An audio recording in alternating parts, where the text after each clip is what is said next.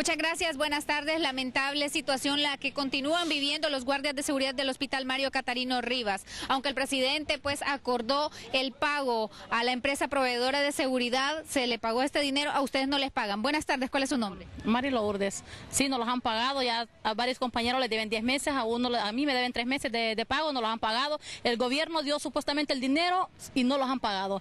El dueño de la empresa dice que no, que no se quiere presentar aquí, dice que no y aquí estamos nosotros hasta pidiendo para ver de pasajes, para ver de comer estamos pidiendo acá.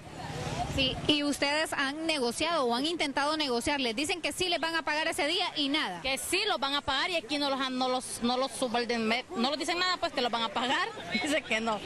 Dice que no y vamos a ver, no. Aquí vamos a, estar hasta que los paguen.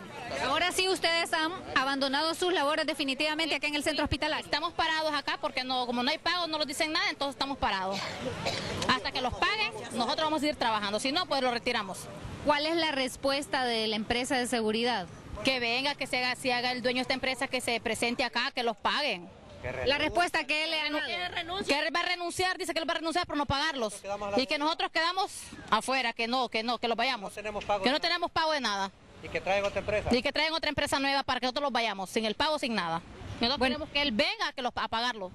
Muchísimas gracias. Pues bien, buenos son los testimonios de los guardias de seguridad del Hospital Mario Catarino Rivas que a la fecha pues continúan en paro de labores exigiendo, suplicando el pago de los salarios que aún a la fecha les deben. Retorno al estudio principal. Buenas tardes.